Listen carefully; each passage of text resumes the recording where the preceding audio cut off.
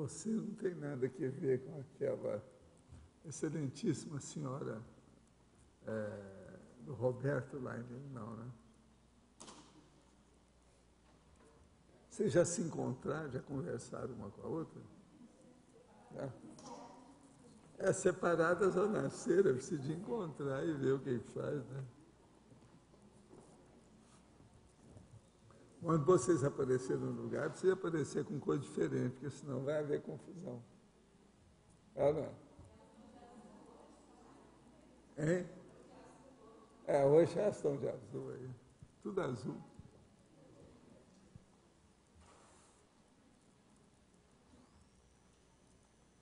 Existem essas coisas. Agora, o que é bacana é que as duas são bonitonas, cheias de vida, tal, grandes né, galoas.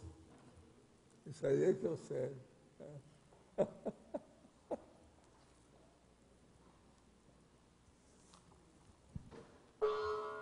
Tertúlia. Gente, meu boa tarde aí para todos. Hoje é dia 11 de setembro de 2009, sexta-feira. O verbete é 1322, oito páginas, 45 logias e oito máximos. O tema é bem-estar. A especialidade é homeostaticologia, quer dizer, do bem-estar, né? da homeostase, homeostasia. Bem-estar é o estado íntimo resultante da satisfação das necessidades naturais, com a reunião das condições físicas, extrafísicas e morais, capaz de facultar a existência agradável da consim, plenamente satisfeita com a própria sensação de segurança, conforto e tranquilidade.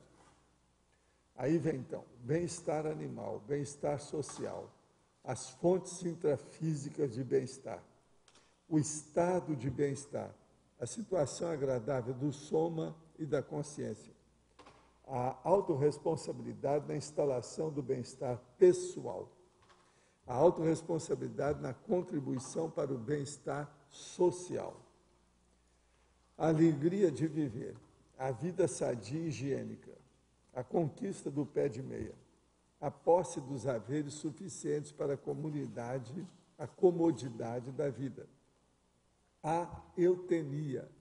Isso aí seria bom. O chefe aí ele vai procurar para ver o que, que é isso. Você já estudou, porque isso aí é da filosofia. É, um aprimoramento do prazer, é isso mesmo. do prazer. Bem-estar a evitação inteligente do comodismo regressivo, as atribulações, vicissitudes e percalços da vida humana colocados em plano secundário. Agora, nós temos aqui uma série de condições e tem diversificação. Há categorias diversas de bem-estar íntimo sete grupos sociais ambivalentes capazes de atuar como núcleos de sabedoria. Nós relacionamos aqui nas ambiguidades. Também falamos sobre a identificação com a subhumanidade que sobressai dois fatos: o símio e o homem. Também os elementos do bem-estar quando social ou grupo carne que exige a inclusão de múltiplos elementos especializados. Eu dou quatro deles aqui também na prospectiva da, da situação, na paracronologia, é, os fatos que ocorrem algum dia ou que vão ocorrer algum dia na melhoria e ampliação do bem-estar do homem nessa escola hospital da Terra. Eu coloco 11 fatores que podem é, sustentar isso aí. Agora, nós temos aqui uma Bíblia, uma bibliografia especializada com 31, 31 fontes. E a frase enfática. Quando falamos sobre a paisagem alegre, é tão somente um recurso poético externo. A verdadeira alegria e o bem-estar estão na intimidade do micro-universo consciencial. Você desfruta de bem-estar ou mal-estar na vivência da existência multidimensional da própria intraconsciencialidade. Desde quando você vive assim? Eu acho que dentro dessa era da fartura, muita gente aqui se, se dá bem. Nós não estamos num país que é de guerra, é, há uma certa pacificação. O Brasil, sob esse aspecto, é fora de série, é abençoado. Gostaria que o senhor confirmasse se posso dizer que o atributo consciencial disciplina é muito importante para o processo evolutivo de uma consciência ou consciência. Que, sem esse, os demais atributos não acontecem, ou se acontecem, não estão em sua maior expressão. Aí eu digo para você, sim, sure, of course, yes, de acordo, claro, perfeitamente, exatamente. Agora veja, a disciplina no caso é auto-organização, é o método de viver é aquilo que eu sintetizo através de hábitos sadios e rotinas úteis. Meses antes de começar o CPC, do qual fui aluno, comecei a ter insônia de madrugada. Agora participarei da imersão progestoterápica, que acontecerá entre 13 e 15 de novembro. Comecei a ter de novo a insônia. Gostaria de saber do senhor como posso mudar isso. Primeira coisa, aí tem algum processo, não só psicológico, possivelmente tem algum problema extrafísico. Agora, você tem que ver o seguinte: você está querendo reciclar, está querendo mudar, pode ser que seja assistência. Agora, se você não se sente bem, se isso está incomodando muito você, quer dizer que tem boi na linha, há assédio. Você que tem que saber a sua real situação no caso. Eu estou dando as dicas que a gente vê assim, a grosso modo é isso. Somente hoje, aos 23 anos, decidi minha profissão.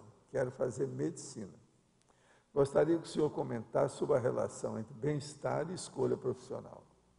Se possível, contasse algo referente ao seu processo de estudo e seu ingresso na faculdade de odontologia e medicina. Olha, meu caso não tem muita novidade, não. Eu falei desde pequenininho que queria estudar a cabeça, quer dizer, o que a gente pensa, a personalidade, a pessoa, a consciência. Agora, para estudar isso, eu preciso fazer assistência aos outros para você fazer pesquisa. Então, eu pensei desde o início que o melhor caminho para mim seria a medicina. E se fosse uma coisa boa, estudar psiquiatria, por exemplo.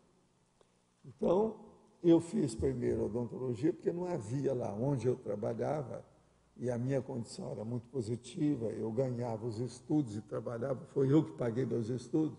Quer dizer, eu fui, no caso, self-made man. Eu mesmo me fiz com a história toda do meu trabalho. Agora, minha mãe me pediu para entrar na maçonaria. Quando eu completei a idade certa, eu entrei. Fiquei seis meses na maçonaria e pedi o kit plus. Meu pai me pediu para fazer odontologia, porque ele era dentista, já tinha um consultório arrumado, era fácil seguir a vida, e eu era o mais velho, tinha que cuidar dos meus dois irmãos, minha mãe e tal. Então, o que, que eu fiz? Atendi a minha mãe e atendi meu pai, fiz odontologia. Mas, quando eu estava terminando a odontologia, faltava um ano, é, nós, eu mesmo ajudei a instalar a faculdade de, de medicina. Eu já estava me formando em odontologia quando estava acabando. Então, com isso, eu terminei o curso de odontologia e entrei logo na medicina. Agora, eu sempre gostei do processo de estudar. Não tive problema nenhum com isso, com estudo nenhum. Nunca fiquei na dependência de nada, nunca tirei nota assim, é, vamos dizer, desclassificada em qualquer coisa. Eu sempre tive facilidade para estudar. Agora, em vista disso, eu queria até estudar mais. Não fiz é, diretamente a psiquiatria, porque eu fui ver a psiquiatria, não valia a pena. Eu fui assistente, fui monitor da cadeira de psiquiatria. Para vocês terem uma ideia, seria bom eu falar isso. O meu professor de psiquiatria oficial, com o passar do tempo, quando ele chegou mais de idade, já estava para aposentar, ele deixou a psiquiatria toda e a medicina e começou a frequentar meus cursos. Ele sentava na frente meus cursos. Era o meu professor de psiquiatria, muito mais velho que eu. Naquela ocasião, eu lembro dele com a idade, já estava com a, a face toda assim de pergaminho, de idade. Uma grande personalidade, doutor. Agora, Isso tudo mostrou que eu estava certo, que o meu próprio professor veio para mim, não foi eu que fui para ele.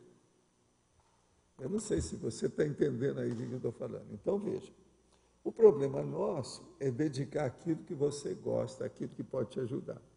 Agora, eu quero te dizer, francamente, com todo realismo, o processo do curso de odontologia, de medicina, os cursos que eu fiz fora do Brasil, as coisas todas que eu vi fora, no Oriente, na Europa, nos Estados Unidos, tudo isso foram atividades meios, não foi atividade fim. A minha atividade fim é estudar o processo da conscienciologia, mas eu sabia que não tinha nada por aí que pudesse me enriquecer naquilo que eu queria, que eu tinha que fazer o meu show solo, caminhar por mim mesmo, fazer minhas pesquisas, etc. Foi o que eu fiz. Agora, dedique-se ao processo que medicina é uma grande carreira, é uma das melhores que a Terra pode oferecer para as pessoas. Porque você é obrigado a assistir os outros. Você ajuda os outros querendo ou não. Se você for trabalhar com medicina, é isso. Seja qual for a área. Sempre é assim. Agora, gente, hoje eu queria lembrar para vocês que há oito anos eu vi lá a explosão lá do World Trade Center, dia 11 de setembro de 2001. Foi nesse dia, 12h40. Nessa hora a gente estava na rua lá, vendo o negócio, um cheiro de cadáver tudo quanto era lado. Nós chegamos lá de madrugada e algumas horas depois o negócio aconteceu. Eu e a Graça vimos isso tudo de perto, faz oito anos. E eu falei assim, o mundo vai ser diferente depois disso. Isso aí é igualzinho Auschwitz. Depois de Auschwitz, a coisa mudou. É, com essa, essa tentativa aí de terrorismo, etc. Morreram mais de 3 mil pessoas naquele dia. Fora os outros que foram morrendo depois. Mas... Eles falaram em 2.900 pessoas, mas parece que foi mais de 3 mil total. Agora, outra coisa que eu queria falar para vocês. Existe aqui a 11 imersão heterocrítica de obra útil. Está muito bem feita aqui, ó, tem um impresso sobre o assunto. É do dia 30 de outubro a 2 de novembro. Quem nunca assistiu esse curso comigo e com, com eles aí, com o Loche e o Antônio, vocês dividem esse curso agora, tá certo? Quem nunca foi? Tem alguém aqui que nunca foi nesse curso? Se tem alguém, ah, então ó, você, você já se inscreveu? Se você não participar disso aqui, vai ter briga comigo. Tá certo? Você se prepara, pode escolher aí as armas, nós vamos ter um duelo. Tá certo? Ah.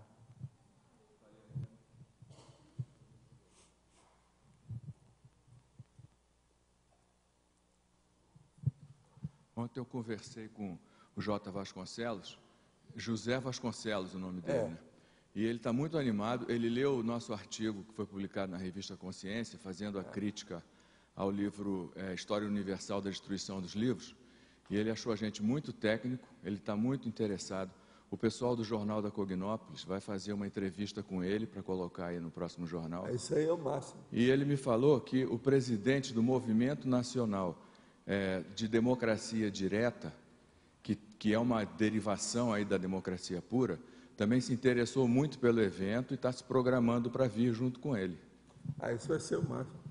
Fala com ele que nós somos a democracia plena, direta, pura. São os nomes que eu uso. Plena, direta e pura. Agora, você. Não lembrei, foi o primeiro curso que eu fiz contigo. Você é. acabou lá com o Geraldo, lembra do Geraldo Medeiros Júnior? É. Isso aí é 1990. Pois é, pois é mas isso já faz muito tempo. Ah? Mas não é esse, não. Não, não, foi sim. O primeiro foi com o Cury. E o Cury agora entrou na política. Você sabia que o Cury entrou na política? Não, esse foi em 1990, antes de 90, lá na, ah, na Glória.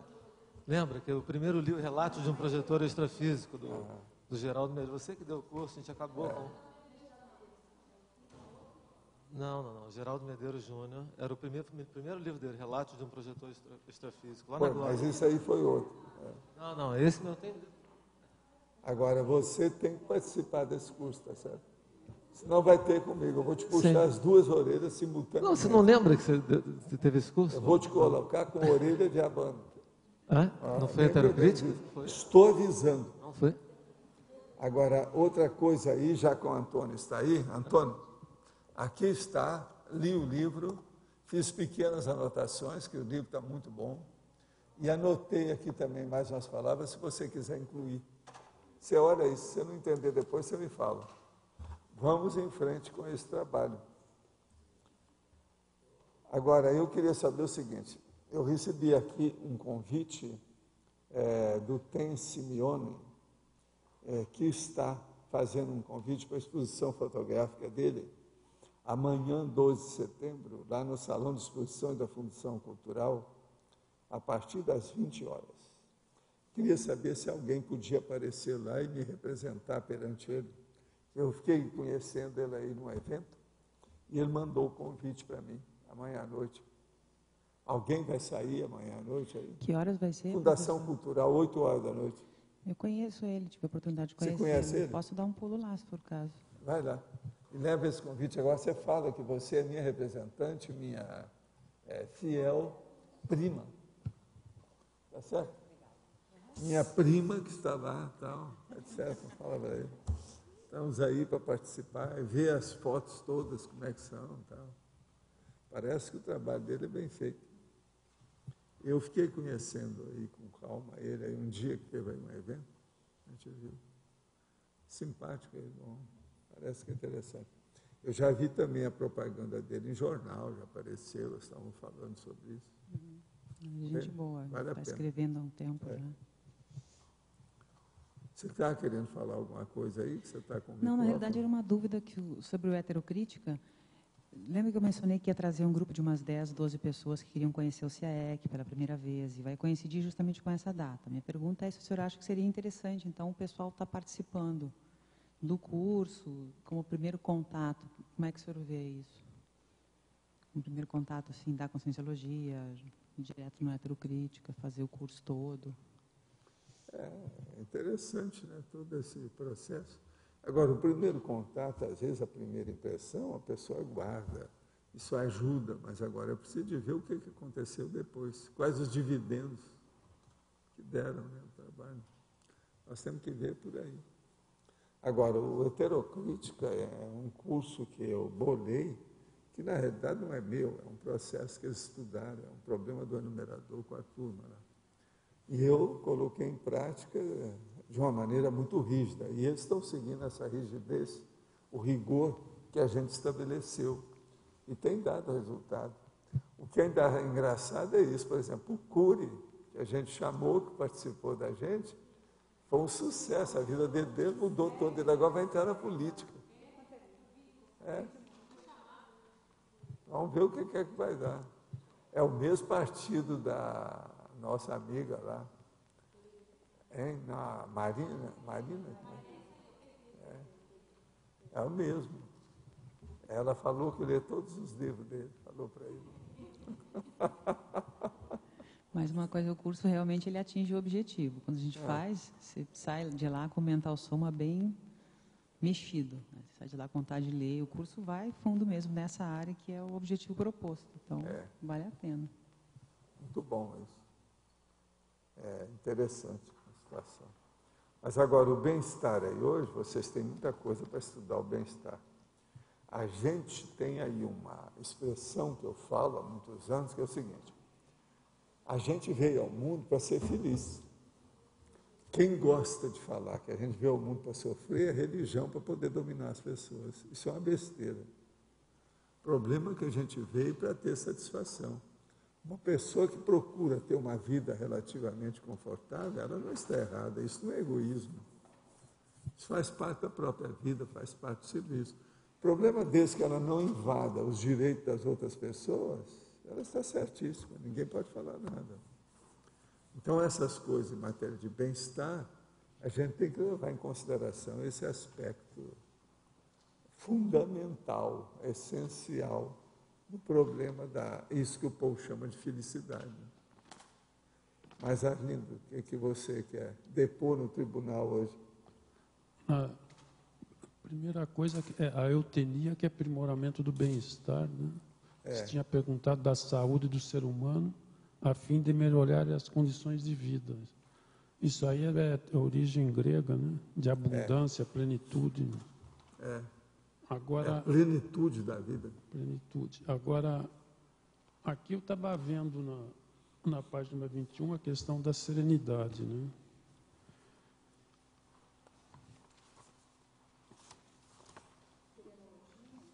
É serenidade na voliciologia. Serenidade. A serenidade, serenidade do Homo sapiens serenis, dentro da serenologia, independe dos pré-serenões. É uma mera questão evolutiva. Agora, o serenão, a própria serenidade do serenão já é o bem-estar? Esse é que é o verdadeiro bem-estar. A verdadeira felicidade é a evolução lúcida, a inteligência evolutiva. Esse é que eu sempre achei que é a verdadeira felicidade. Agora, isso só nasce através da interassistencialidade. Então, por exemplo, é impossível uma pessoa ser feliz só ela. É igualzinho aquela pessoa, por exemplo, você não vai ver uma pessoa que fica gargalhando sozinha. Geralmente, para soltar uma gargalhada, tem que ter plateia. Isso é da natureza humana. Então, uma pessoa mesmo realmente feliz, ela não é isolada. Quando ela está isolada, ela é autista, ela é deprimida, é deprê. Entra na depressão, que eles falaram, hoje mesmo estava vendo na televisão, é a chamada doença que está na moda. É o mal do século. Mal do século XXI. É a deprê. Outra coisa que eu também como pergunta, porque aí na, na SOCIM em geral eles colocam bem-estar, que na verdade não seria bem-estar, por exemplo, a pessoa, bamburrologia, assim, a pessoa ganhar muito dinheiro e outras coisas, o hedonismo em si, que é até colocado aqui, seria uma forma perto desse bem-estar, do equilíbrio aí do serenão, ele é quen-quen, ou às Agora, vezes nem eu é. Né? Vejo, o melhor bem-estar do ponto de vista prático para mim, Arlindo, é a pessoa que vê que a vida dela está exitosa devido aos resultados dos seus altos esforços. Então a pessoa. Agora, o que eu vejo também é o seguinte: se uma pessoa ela se organiza, que é aquilo que a gente estava falando sobre a auto-organização aqui, ela vai ter um processo de acumulação de bem-estar. Cada vez mais. Com todos os tropeços, vicissitude, percalços que ela tem. Ela supera isso. Meu caso, por exemplo, eu sempre me julguei uma pessoa mais ou menos é, vamos dizer, de relativo bem-estar, porque eu mantenho esse bem-estar comigo. Agora, o problema todo é pessoal, antes de tudo. Mas é um pessoal que depende dos outros, depende do ambiente, da mesologia, o que, é que você faz, quais os seus interesses, seus objetivos. Agora, essa é a verdadeira felicidade. O mais, bobagem. Felicidade não é fugir, ir para uma ilha e ficar lá, não tem que ir para algum lugar que tenha gente.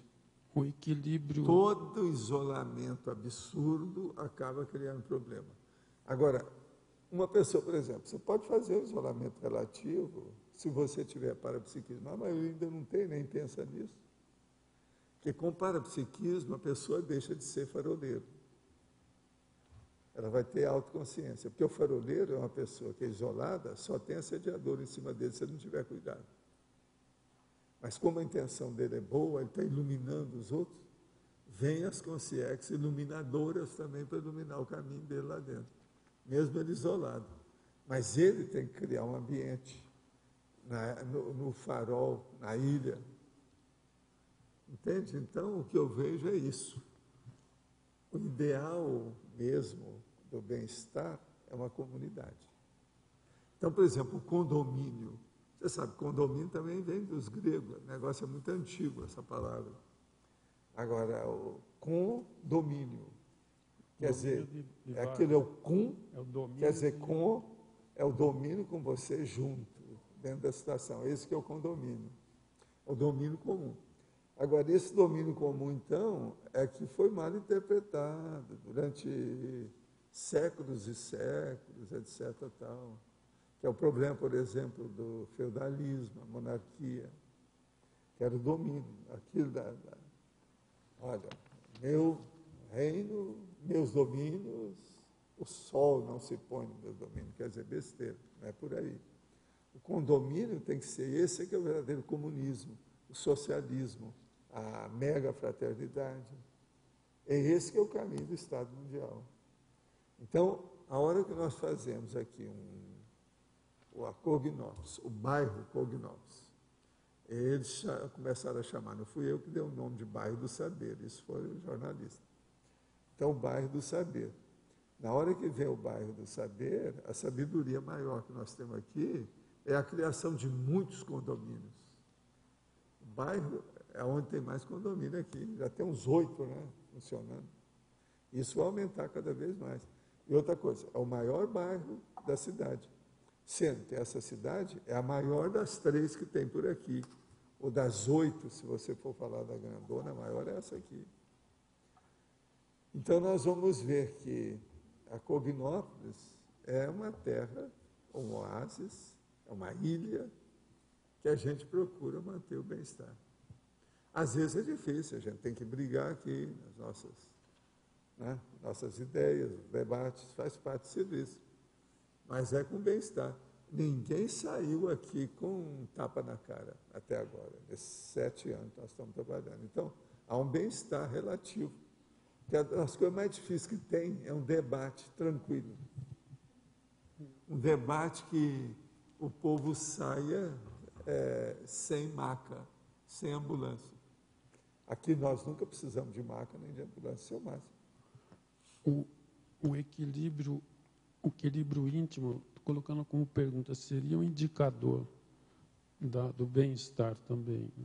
É, mas o equilíbrio não é propriamente o bem-estar. Não é bem-estar, mas não. ele. Ele embasa o bem-estar. Agora, quais o tipo de equilíbrio também? Você tem que ver que tem muitas, muitas modalidades de equilíbrio. Né? Equilíbrio também aqui do é. nosso, da consciência. Agora, o que eu vejo é isso. A equilibriologia é o estudo da, vamos dizer, da holomaturidade, que dá, de fato, o problema da lucidez da pessoa e, vamos dizer, a pacificação íntima. A pacificação íntima, essa harmonia interior, é a base do bem-estar. Eu falo aí sobre harmonopensenes e harmonopensenidade. Eu vivo falando esse negócio. Isso tudo é o problema do bem-estar. Agora, as pessoas geralmente elas vivem com predomínio ou do bem-estar ou do mal-estar. Em certos lugares que você chega lá e a maioria tem um predomínio de mal-estar, é besteira morar lá, né? Não é o ideal morar num lugar desse. Agora, por exemplo, quando a gente escolheu vir para Foz, aqui tem as sete energias básicas em alta potência. E outra coisa, é um local de turismo. Turismo quer dizer férias, bem-estar, alegria. Essa tem, olha só, é aposentadoria. Até um certo ponto, a cidade é disso. Com todos os convenientes e inconvenientes, ela tem muito mais conveniente do que inconveniente. Agora, o que eu vejo é isso, bem-estar. O bem-estar real mesmo, isso que a gente tem que pôr na cabeça é o saldo da nossa ficha evolutiva pessoal. Se o seu saldo é azul, está ótimo. Se ele está vermelho, há um mal-estar permanente a partir da sua ficha. Aquilo destila, entende? Alguma coisa que incomoda. Mesmo porque o saldo ruim vai dar melim, melex, né? aí vai que é um mal-estar para caramba. É. Agora, a Melim, o que é a Melim? A Melim é a aposentadoria do mal-estar. Quando a pessoa se aposenta e ela cultivou o mal-estar durante muito tempo, ela entra em Melim. Agora, depois ela recebe o galardão do Melex, né, quando dessoma. Agora, veja, quanta gente ainda é envolvida com isso. E não adianta você fazer, querer fazer estupro evolutivo. É a pessoa que tem que melhorar com isso para chegar. Então, o bem-estar tem um preço. E esse preço nasce da intenção da pessoa. Se a intenção não for favorável ao bem-estar, não há bem-estar. Então, o bem-estar, ele é gerado a partir da vontade e da intenção. Eu posso dizer que, no nosso nível, o completismo seria a geração do melhor bem-estar. É, mas tem gente aqui que tem mais. Uh, eu não estou falando ganância, mas tem mais aspiração. Eles não querem apenas um complexo. Bem, quer uma coisa maior, né? Assim, desperticidade, né? Ultrapassar o completo é, lógico. É, é desperticidade. O processo, por exemplo, do FIEX, já pensar na semiconsciencialidade. Eu mesmo estou incentivando isso, quer dizer, eu estou, estou criando o um problema para vocês. A hora que a pessoa sente que ela está com tudo, eu venho com outra ideia e crio um problemão para ela. Aí é, aparece o negócio do nosso amigo, fica sem dormir, cada reciclagem. Então, o máximo seria ultrapassar os 100%. O máximo é a máxima orex, né? Ultrapassar os 100%. É a moratória máxima, máxima moratória, morex. Isso é que é o ideal. Eu acho que muitos aqui ó, vão passar e chegar na máxima Orex. E outra coisa, a hora que eu falo isso, eu não estou falando que só porque tem uma, é, uma ProEx pequenininha, não é isso. Entende? Mesmo a ProEx mais avantajada, mais consistente, entende? Mais intensa, né? Eu estava vendo um filme que a moça muito bonita, o rosto, aquela coisa toda. Então a outra fez um comentário com ela sobre o processo. Não, você é até uma moça, parece bonita, uma moça bonita. Ela falou assim, não, eu não sou bonita, eu sou intensa. Isso é a última dos americanos que eu vi. Eu não sou bonita. E eu já conhecia outras nesse sentido que além da beleza, existe um negócio muito mais sério e mais generalizado, que é uma pessoa vistosa. A vistosa, isso todo mundo usa já há muito tempo. Mas agora, essa da intensa, agora, você sabe, intensa, isso aí é devido ao cinema. É aquela atriz ou ator que tem muita intensidade na sua performance, no modo de, de atuar ele é intenso, o rosto, o modo, tal. Ele é intenso. Agora, a beleza intensa desse jeito, isso aí é muito raro de usar. Eles usaram agora no filme. Agora, a dona, ela tem uma, uma, tem uma cara esculpida, é bem feita. Tudo certinho, todos usando. Qualquer coisa que filmava a cara dela saía bem. Mas agora, coitada, já estava cheia de marcas assim. Ó. Você via que a vida dela foi cheia de coisa tinha umas depressões na cabeça, via direitinho na filmagem, close. Essa é intensa, mas realmente, outra coisa, não é má atriz, não, é boa. Quer dizer, então, essa intensidade da personalidade, ou ela é depressiva, ou ela é de bem-estar. Então você tem uma intensidade o quê? Cada amante, agora a gente pode perguntar. Qual seria a intensidade da Margarida? Hã? Vamos ver, ela é intensa. Intensa. Nós que temos uma porção dessas atrizes e, e aqui não é bem atriz, porque elas estão desempenhando o papel real aqui, tem uma porção de moças, senhoras muito intensas. Mas aqui mais uma intensa que vai falar. Professor. Professor, eu achei interessante aqui a, a página 22, questão da é. prospectivologia. Né? Eu achei os, os, itens... É, os 11 fatores Toques aí, de né? refinamento, né? Detalhe... Isso aqui está é, bem fundo é nos detalhes, né? Que são é. significativos é. para... Gente está falando como é que é que nós vamos passar da escola ao hospital e colocar, né? Colocar a escola na frente do hospital. Pois é. Agora, o item 7 é complexo, né? Supressão da pobreza por toda parte, eu acho que esse é um dos maiores parte. desafios. Isso aí né? é a última coisa a ser É. feita, né? Que vai conseguir. Tem gente que quer ser pobre, não tem jeito de melhorar. Por exemplo, um toxicômano, ele não quer ser rico, ele quer ser pobre cada vez mais. Ele está acabando consigo mesmo. Todos os fronteiriços ao suicídio são problemáticos. É o toxicômano, é o fronteiriço ao suicídio. São as pessoas que provocam suicídio lento. É, então, quer dizer, na realidade, a gente vendo sobre o seu ponto de vista, então as drogas são bem anteriores à questão da supressão da pobreza, né? Porque isso tudo leva ao... A pessoa se afunda total. A gente teve contato, infelizmente, com Lá, pessoas... por que- exemplo, o hospital, a última coisa que vai ser suprimida vai ser o processo de toxicomania. Eu queria É falar... o- a doença básica da humanidade hoje. Quer dizer que é o assédio maior, o mega assédio da humanidade é a droga.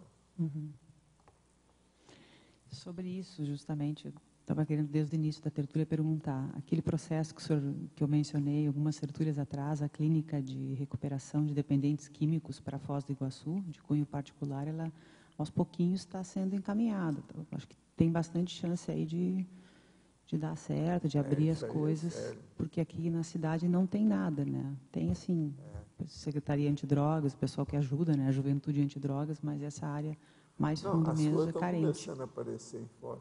Você sabe que ontem eu estive com a, a principal responsável pela instituição de assistência aos subhumanos aqui, né? Cachorro, gato, etc. Que é a Cristiane, a, a Cris, a Cris, Aracaki, Aracaki. tem ajudado mais com a turma aí, né? Agora, ela esteve aí comigo para a gente conversar com calma, te vendo as coisas todas, como é que são. Isso aí tudo é uma coisa que precisa aqui. Quer dizer, já começaram a atender com essa ONG, que é a ONG do, da assistência aos animais. Daqui a pouco eles vão assistir os animais assim de idade, igual eu. Então, vão fazer o crematório.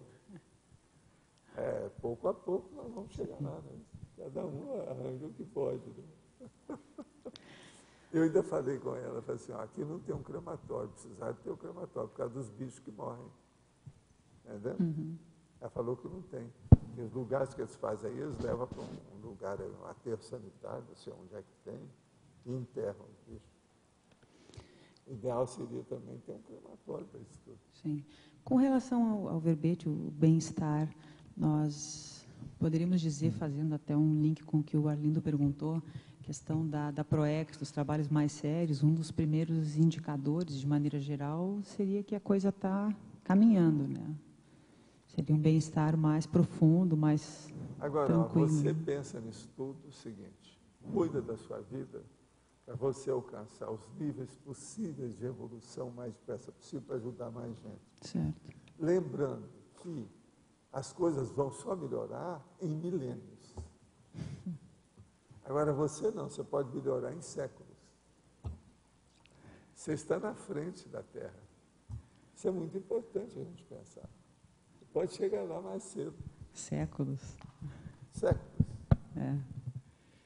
Mas nós aqui já estamos caminhando base de séculos. Agora, veja, eu sou uma pessoa tranquila dentro de mim, com algum bem-estar.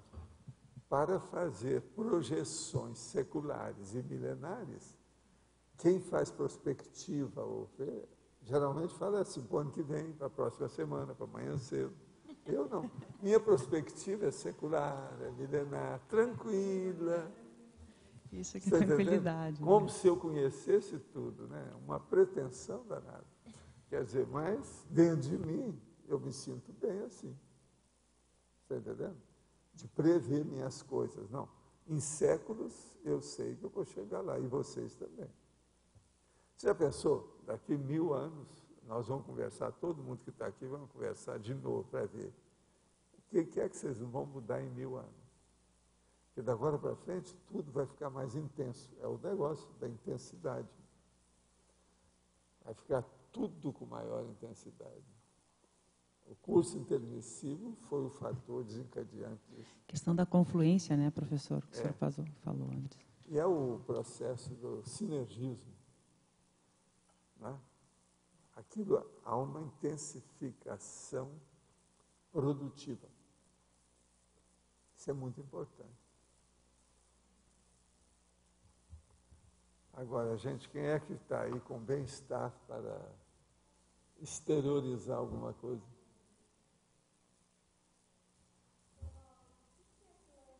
A serem bajuladoras, assim, em termos de bem-estar. Tem algum ponto específico? Bajuladora? É, que você fala bastante, né, dos, da, da bajulação. E... O problema todo é arranjar um jeito de ficar, é, fazer média para obter algum objetivo, algum proveito, algum interesse, né? alcançar alguma coisa. Agora, o problema de fazer média não é o ideal. Não é por aí. Agora, você faz média, mas indiretamente. A primeira eh, atitude indireta de fazer média é o exemplo. Agora, a segunda é mais séria ainda, é o exemplo. O seu bom exemplo faz média com os outros. Você veja, com o passar do tempo, você começa a virar uma saga, uma lenda. É o meu caso, por exemplo, com a história em quadrinho, veja. É umas piadas isso que acontece comigo, eu morro de rir, né? 200 barrigadas de riso cada vez que eu vejo uma coisa dessa. Agora, ó, tem uma segunda, que é a mais séria, que é o anonimato. Há um exemplo nos bastidores que ninguém está vendo. Então, a primeira é o exemplo ostensivo, que não dá para você esconder, que é a fase primária da exemplificação, ou daquilo que eu chamo de exemplologia. Agora, a segunda fase, a fase mais avançada, sofisticada, é a do serenão. A tendência nossa daqui, ó, por enquanto, ainda durante um período, vamos pôr aí um século, é, um século, dois, por aí, ainda vai ser ostensivo. Há um processo, então, de exemplarismo pessoal, que é aquele o princípio do exemplarismo pessoal, o PEP, como eu chamo. Agora, vai chegar um ponto que isso vai amortecendo, vai fugindo, vai sumindo, e a pessoa entra num anonimato tal, e ela fica mais multidimensional, mesmo quando ela renasce. Eh, as coisas são é o seguinte, nós todos aqui temos um percentual de intrafisicalidade. Comigo aqui vocês estão aumentando esse percentual de extrafisicalidade. Então veja, vocês chegaram, vamos supor que tinha 90% de intrafisicalidade, 10% de extrafisicalidade. Com os nossos trabalhos aqui já está com 25 já de extrafisicalidade, 75 de intrafisicalidade. Uma pessoa, por exemplo, que é tenepsista e ela se firmando com isso, a hora que ela amadurece, ficou madura na história, ela vai ter mais de 50% extrafisicalidade. Vai chegar um ponto que ela vai dominar isso tudo, vai entrar na semiconsciexualidade, ela vai ter mais do que isso. Então, você veja, o ideal seria que a gente tivesse assim 30%, 40% só de intrafisicalidade e 70% ou 60% de extrafisicalidade, de multidimensionalidade. Mas esse percentual, ele, ele realmente é diretamente ligado ao nível evolutivo, ou depende da profissão, não, da não linha é de proex? só o processo de nível evolutivo. É o problema da prioridade de, da inteligência evolutiva. Você acha, por exemplo, eu tenho um percentual qual? Meu de extrafisicalidade com todo o meu turno mental somático. Eu ainda sou pequeno nisso. Ainda é muito pouco. Entendeu? E ainda não estou assim né, nesse ótimo. Não, eu não acho. Entendeu? Agora, eu estou no caminho, sou consciente disso. Só isso é um vantajão. É, mas aí no... é isso que eu quero que vocês pensem assim. É, mas no seu caso tem uma questão inversa. O senhor poderia, tá, mas tem uma questão do seu trabalho Não, mas veja, exigir... Vocês vão passar pela mesma coisa que eu. Serenões todos passaram por isso. O transmentor passou por isso. Os revolucionários todos passaram por isso. Tem a fase do, está entendendo, da mantena, mantena, aquele negócio lá da o período, você está entendendo, de transição de um estado para outro, a fronteira. É isso aqui, ó, nós vivemos na mantena. Foz é o grande símbolo da nossa evolução. Você tem tudo, Foz é o grande símbolo da nossa evolução. Tem tudo aqui. As etnias são é a, a ONU. Entendendo? Tem uma, uma natureza exuberante, que é o processo da multidimensionalidade. Tem tudo à mão, tudo aqui. Agora, nós fizemos a cognópolis aqui dentro. É dose, né? É dose, te aguenta. Agora não é de brincar. Eu, eh, enquanto você estava falando de bem-estar com a Fafá, me veio uma relação entre bem-estar e ansiedade como se fosse algo assim oposto, totalmente oposto, e esse bem-estar assim é, é, mas o problema a ideia da serenidade, é você calmaria. fazer uma prospectiva sem ansiedade, uma prospectiva sem tremer, uma prospectiva sem mudar os batimentos cardíacos. Não há ataque cardíaco. Uhum. Esse é que é o. Agora, ó, vocês vão, inevitavelmente, vocês vão aderir a essa condição, querendo ou não. Esse é o caminho, não tem jeito. Contra fato, não adianta. Que, assim, de repente, e dá contra isso não adianta resistir. Uhum. Cedo ou tarde a pessoa joga a toalha, ela admite. Agora, todos nós vacilamos, hesitamos muito. Você está entendendo? Uhum. Até admitir o processo, porque a gente queria uma coisa mais fácil. Mais fácil. Mais fácil. É, até por isso que eu fiquei pensando assim, bem-estar, a primeira ideia que vem é euforia. É. E euforia é ansiedade, né? É. E aí, quando você começou a falar assim da, da perspectiva de projeção para daqui a um milênio, aí nós todos precisamos de que... euforia, nós todos precisamos de compaixão, uhum. nós todos precisamos de emoção. Isso faz parte da vida. Mas veja, tudo isso é perigoso. E a gradação para A euforia é perigosa, a compaixão é perigosa, e a emoção, o comocionalismo em geral é perigoso. Agora, então, o processo nosso é a maturidade do psicossoma. A maturidade de saber viver com o psicossoma maduro. Uhum. A maturidade de saber usar o psicossoma com maturidade. E a gradação Essa é a maturidade disso pra... da maturidade. A gradação, sabe, para chegar dessa euforia, dessa... Pois é, mas agora, veja, vocês com o tempo, vocês vão fazer a perspectiva, todo mundo aqui vai fazer previsão. E vocês vão ficar cada vez mais realistas devido à autocrítica. Se a pessoa aumenta a autocrítica, as previsões dela são mais corretas, uhum. são mais reais, são mais realistas, elas chegam na realidade. Agora veja, se uma pessoa faz mais autocrítica, ela melhora a autoimagem. Porque as nossas imagens são sempre deformadas uhum. é, devido a um processo de fábula, de imagística, de fantasia, de imaginação, no caso de onirismo. Então, isso tudo tem que ser levado também aí, considerado. Uhum. Agora, o que eu vejo é esse. É, o processo filosófico, por exemplo, de vocês ele vai se intensificar cada vez mais. Todo mundo aqui vai virar filósofo. Filósofo que eu estou falando, aquela pessoa que estuda o que é a sabedoria. Ela reflete mais isso. Então, a reflexão sobre a autocognição, a sabedoria, isso vai ficar cada vez mais intenso. Ó, usando a palavra intensa hoje, para fixar para vocês. Vocês vão ficar cada vez mais intensos, intensas sobre esse processo, entendeu? Da reflexão do prioritário. Isso é a sabedoria aí. Então todo mundo aqui vai entrar na escola do Arlindo, Arlindário. Arlindarium. Você está entendendo? Todo mundo vai ter que entrar lá na.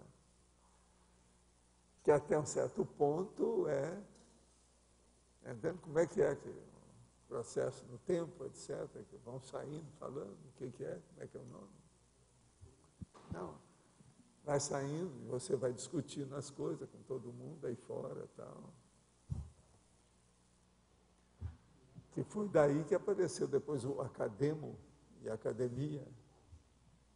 Como é que é que chama? Ágora. Nós agora caminhamos para a Ágora. Agora caminhamos. Da agora, ou da, entende? Para a Ágora. Mas Esse só, não entende. só que temos que ficar olo filósofo, né? Porque, Não, são as filósofas, que a maioria aqui é mulher. filósofo. Então nós estamos criando uma escola de filósofas como nunca houve na Terra. As Amazonas não tinham escola de filósofas. A, o Ôntaro Uma, a Mulher Maravilha, lá naquela ilha só de mulheres, também não tinha escola de filósofos. Desculpa entende? a nossa falha. As Amazonas, as Valquírias, por exemplo, a Valquíria lá do Wagner, você está entendendo? Taram, taram, taram, taram, aquele processo, toda a sinfonia lá, não tinha, hein? A cavalgada das Valquírias. Agora veja, a- aqueles Nibelungs, Nibelung, outra coisa, estudo aí, ó, nós já ultrapassamos. Hoje eu mostro aqui as minhas filósofas. Você veja, a maioria que trabalha comigo mais direto aqui predomina é mulher, não é homem, não. Eu já fiz o levantamento.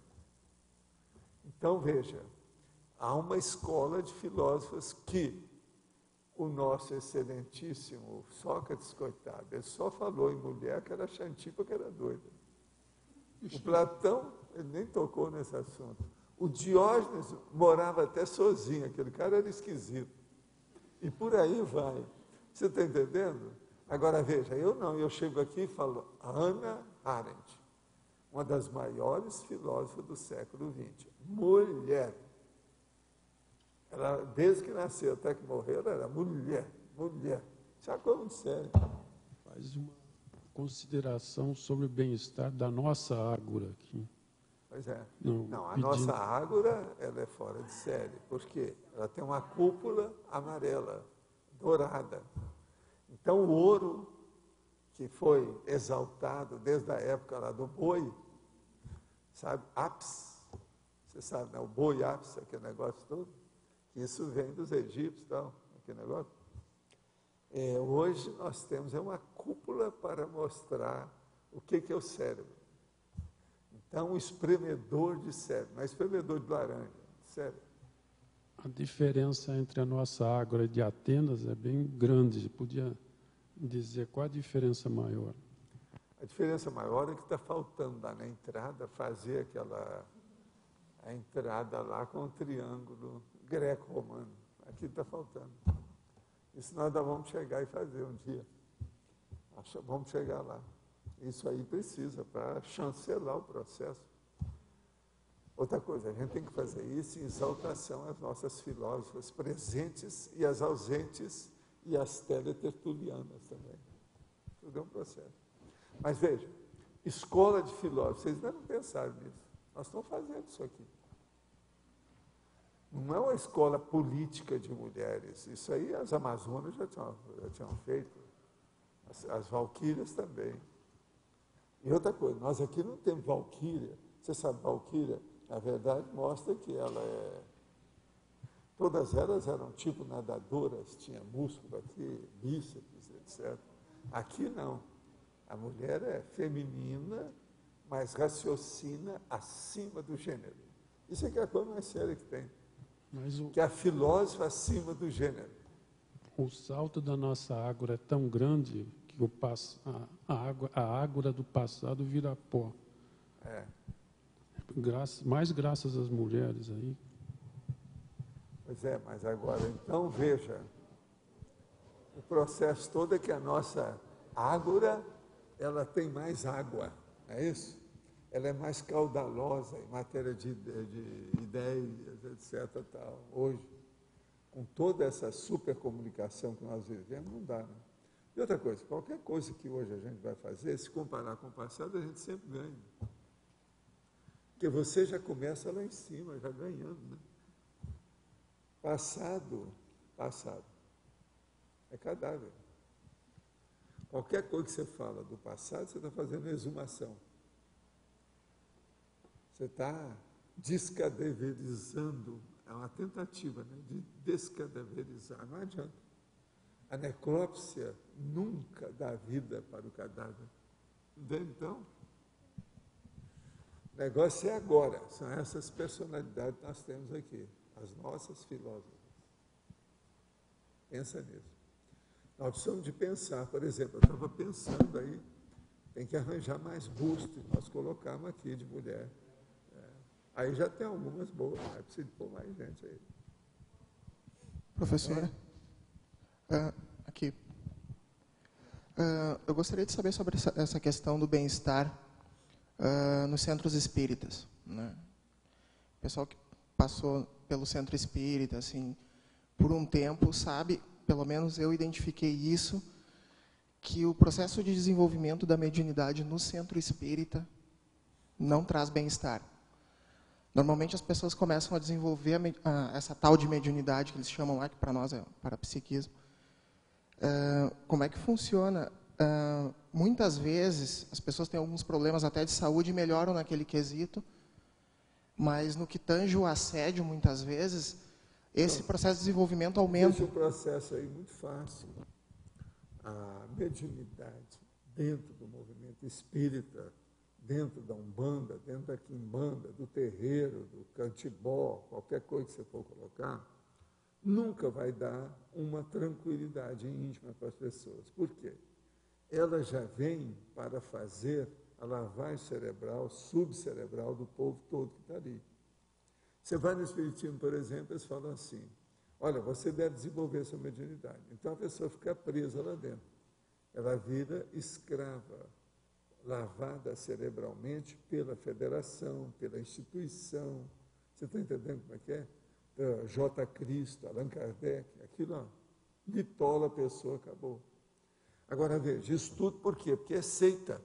Seita, religião, a iniciação, é tudo processos de dogmática. Sendo dogmática, a pessoa não tem liberdade de desenvolver. Agora, o que, que é a mediunidade, o parapsiquismo? É um desenvolvimento pessoal. Se vem uma força externa e a pessoa admite aquela força externa superior a ela, primeira coisa que acontece, ela já se anulou. Então, por exemplo, eu vi isso tudo, o movimento espírita falava, mas eh, dava até briga se eu continuasse com a minha argumentação, que era irrespondível. Então eu chegava a pessoa e falava assim, olha aqui, eu vou pôr energia em você. Você sabe qual chakra que está sentindo? Ninguém sabe. No entanto, o cara está trabalhando com o movimento espírita há 25 anos, ele é médium. Mas ele não entende nada da energia que ele tem. Por quê? Para os espíritas, que está, são comandados por guia cego, guia cegos extrafísico e guia cego intrafísico, o ideal para o médium é o médium totalmente, é, vamos dizer, inconsciente, que não tem ideia nenhuma, que não tem a personalidade, que não tem nada. Ele é um manequim e acabou. Ele é um boneco de ventríloco, tem que repetir aquilo que vem. Quer dizer, tudo errado. Então a pessoa nunca desenvolve com autoconsciência o processo da multidimensionalidade nela.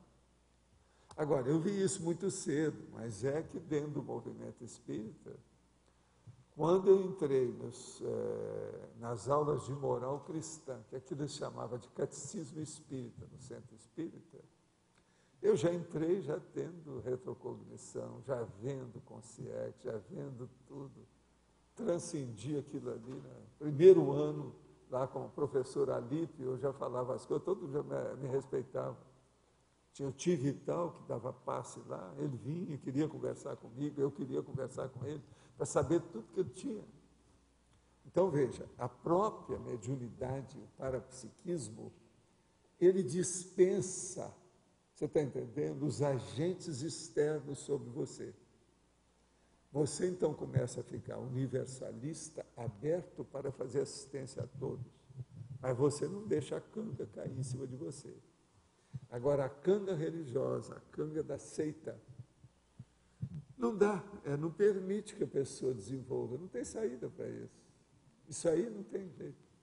Por isso que o povo perguntava, o que, que você acha? Qual a religião que vai predominar? Eu falei assim, nenhuma, isso tem que acabar. Agora, a gente tem que respeitar, o povo precisa disso. Mas a vida é assim, nós temos aqui vírus da, da gripe suína, a gente tem bactéria conosco, milhões dela, cada um de nós tem. Eu faço assim, ó, engulo, faço a deglutição. Eu acabei com uma porção de bactéria na hora que eu engoli. E nós todos somos assim. De modo que a vida é complexa, tem muitos princípios conscienciais de evolução. Começa por essas bactérias. Nós somos um ecossistema individualizado, mas não somos só a nossa consciência. A hora que a gente manifesta aqui, você mexe com bilhões ao mesmo tempo. Só de bactérias são bilhões. E o resto? Tudo que tem aí. Ninguém é sozinho. Agora, nessa questão, a hora que vem as cangas, além da canga da religião, existem as coleiras sociais do ego. Você vai a um clube, você entrou para o Flamengo, você não pode falar a favor do Botafogo. Você vai num, num, numa outra instituição, por exemplo, aí, de colecionador, tem que ficar daquele jeito. Você entra numa outra de alguma coisa, você tem que seguir aquela. Entende? Isso são coleiras do ego. Um clube é uma coleira. Agora, de modo que o processo nosso é de libertação da escravatura. A conscienciologia veio para mostrar isso, a libertação dos médios escravizados. A gente veio para fazer isso. Estão fazendo a libertação, 13 de maio para o povo. Mas agora é difícil, por quê? A maioria está enraizado com lavagem cerebral, e lavagem cerebral é uma das doenças psíquicas mais difíceis de ser eliminada. E outra coisa, nós não fazemos estupro evolutivo, nós não vamos usar uma marreta na cabeça da pessoa ou vamos fazer uma tortura em cima dela para ela fazer uma reciclagem. Ela tem que reciclar a partir da própria resolução pessoal de mudança. Então, é que fica? Coisa Pelo menos eu, eu noto assim, porque muitas casas espíritas eles têm aqueles atendimentos individuais que a pessoa está lá passando por algum problema de saúde e procura um desses atendimentos para ir lá conversar com o médium, esse tipo de coisa. E às vezes o médium que está lá prestando esse uh, auxílio, muitas vezes precisa de mais auxílio do que a pessoa que procura ele. É. Então, o que eu vejo assim é Há que... muito médico é vampiro. É, ele não doa energia, ele chupa. Que tudo que eles sabem dizer, ah, você ele tem que desenvolver a mediunidade. Ele se mantém assim. Agora veja, isso aí a gente viu tudo, foi por isso que eu não fiquei lá. Eu tentei ver se mudar, mas você sabe, religião é a última coisa que muda, é o maior fanatismo que tem. Os dois maiores fanatismos existentes, primeiro é o da religião, segundo é o da política. Isso tudo muda. Vocês vejam bem, o comunismo já caiu, o muro de Berlim caiu, a própria Rússia, com todas aquelas coisas, eh, caiu, e, e caíram né, junto. No entanto, tem gente que ainda está adorando ainda o Fidel Castro, que é aí um fóssil que ficou do processo do marxismo. Até hoje tem gente que quer levantar o marxismo de todo jeito. Chegou Agora o Hitler, com toda a loucura dele, está cheio de gente que é neonazista. Quer dizer, a natureza humana é assim. O bicho custa mudar, porque todo mundo antes de ser homem ou mulher, foram subhumanos. Então aqui está cheio de crocodilo, de lagartão. Isso faz parte dentro da gente. É o que eu chamo de proto-reptiliano. Qualquer coisa supita, aquilo aflora, aparece, vem à tona. Entende? Então, tem que ir com calma. Agora, o problema nosso maior é o seguinte: se você já entende isso, já viu isso, você já recicla a sua vida. Essa reciclagem é que é importante. Quem chega na religião não quer reciclagem, ele se acomoda, é uma acomodação. Religião é o, o vamos dizer, um substantivo, que é a mesma coisa, que é um sinônimo, é acomodação. Quem é religioso é uma pessoa acomodada, porque ela tem um teto, ela não pode passar daquilo. Ela está dentro de raias. Ela só anda dentro daquela raia que a religião permite a ela. Isso é o dogma. É peremptório, é definitivo. É, você não pode ir contra. Se você vai contra, você é indigno. Tem vários nomes para isso. É heresiarca, é uma heresia que você está cometendo, é infiel, tem a opção disso. E outra coisa, as religiões com o tempo ficam de uma tal maneira que mesmo aquele que não é da religião, se ele fala alguma coisa contra ela, ele também é uma heresia. Então, veja, fizeram, os dinamarqueses fizeram lá uns negócios contra o processo do Maomé. Houve uma reclamação mundial do processo. Isso é religião. Então nós temos que entender isso aí. Quando é que isso vai melhorar? Agora, não podemos esperar de braço cruzado isso mudar. Vamos fazer força, movimentar nossos braços, trabalhar para mudar a gente, un petit comitê, fazer ilhas de bem-estar, que é o que nós estamos tentando fazer na Cominó. Nós não podemos esperar que a Terra vá mudar isso que nós estamos falando, só daqui milênios. Então, enquanto isso, vamos pensar que tem um serenão pela frente. O nosso desafio é o serenão. Se eles não querem, a gente quer. Vamos embora, tchau. Agora, vamos assistir tudo que a gente puder, etc. Agora, se nós aumentamos a nossa capacidade de assistência, isso é que é o verdadeiro bem-estar que nós podemos conseguir. Quer dizer, aumentar nossa capacidade de fazer a interassistencialidade, que é o que a gente tenta fazer aqui. O processo da tertúlia, o objetivo dela aqui é justamente isso. Melhorar nossa capacidade interassistencial, com isso nós vamos sentir melhor e vamos ter maior capacidade de ajuda, de auxílio. Professor, dentro disso que o senhor trouxe, então, às vezes é preferível aquele, aquela pessoa que chega sem nenhum conhecimento de energia do que a pessoa que há muito tempo vem trabalhando com os, os tiques. O que, que o senhor acha? Né? Seria o ideal a pessoa chegar até mais zerada, iniciar desde o zero, dentro das possibilidades, do que ela já vim, que às vezes é mais difícil fazer a mudança né, do, do vício, do Agora, hábito. o problema nosso é estudar tudo isso imprimir essas coisas nas nossas atividades, nos nossos atos, nas nossas ações. O exemplo disso, então, é que frutifica mais. Esse é o caminho. E outra coisa, pôr a boca no microfone, quer dizer, no microfone, boca no trombone, falar, debater, expor, clarear, que é a tarefa do esclarecimento. Esse é o verdadeiro, vamos dizer, escopo, é a meta, é o objetivo. Agora aqui uma pergunta.